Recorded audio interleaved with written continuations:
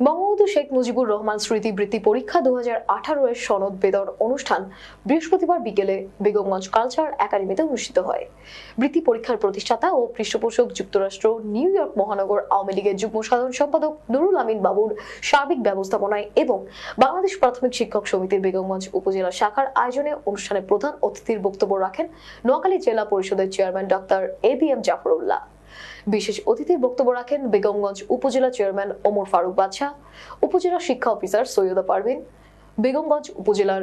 Chairman সমিতির সাধারণ সম্পাদক আবেদ সাইফুল কালাম,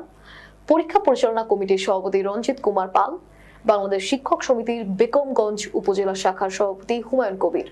সেক্রেটারি আব্দুল আলিম ভুইয়া সুজন, বেগমগঞ্জ উপজেলা ভাইস চেয়ারম্যান নূর হোসেন মাসুদ, সদর উপজেলা নবনির্বাচিত ভাইস চেয়ারম্যান নূর আলম সিদ্দিকী রাজু জেলা পরিষদের সদস্য জি এস মোশারফ কৃষক লীগ নেতা আলমগীর হোসেন ভুইয়া আলম, শিক্ষিকা জাহানারা বেগম সহ আরও অনেকেই। বক্তব্য শেষে অতিথিবৃন্দদের বৃত্তিপ্রাপ্ত ছাত্রছাত্রীদের মাঝে সনদ বিতরণ করা হয়।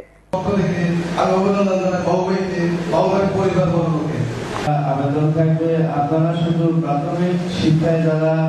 প্রাইমারি স্কুল কিন্ডারগার্ডেনগুলোকে দেন আমাদের মাঝে যখন তাকিয়ে দেখি আমি দেখতে পাই আমার বাবাকে আমি দেখতে পাই আমার মাকে মায়ের জন্য দোয়া করবেন। করেছে। সে মাটির টানে তার মনটা কাঁদে